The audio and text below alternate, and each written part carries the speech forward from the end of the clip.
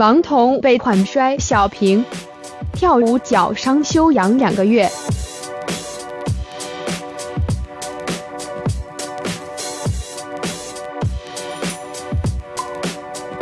傅子淳帮王彤按摩脚，图民事提供。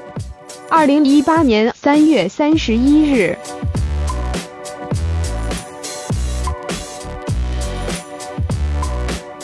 艺人王彤加入《民事八点档》《幸福来了》后，堪称灾难女王，连网友也叫她“摔小平”，让她哭笑不得。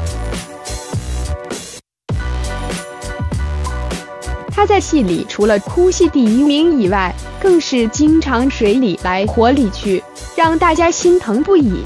近期剧情高潮迭起，除了小平恢复本名外，绑架她的傅子淳也顺利被逮捕。王彤还接拍《民事金钟好戏》，微笑累，拍戏将时间占满满。他还在忙碌中挤出时间参加武力全开的国标舞竞技赛事，让人直称他是铁童。但他本人知足地说：“工作满当是最幸福的事情。”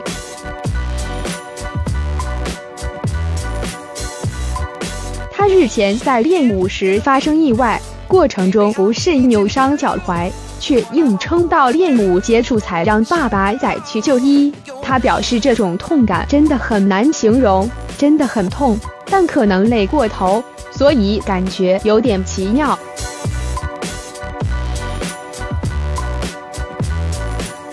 王彤又加入电视剧《幸福来了》后，堪称灾难女王。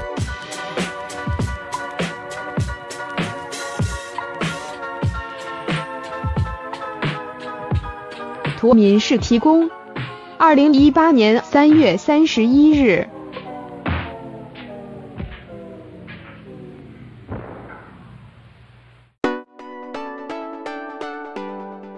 王彤表示最近工作满档，没有好好休息，才会不小心让脚拐到。没想到去诊所就诊时，竟发现是脚韧带撕裂伤。医生当下立刻建议他转诊大医院骨科。但因后续工作已排满，他无法立即遵照医生建议。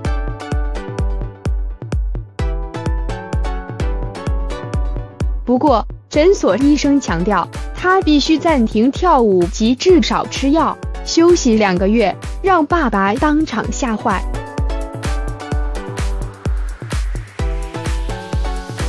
幸好《幸福来了》的剧情刚好是他在医院接受治疗。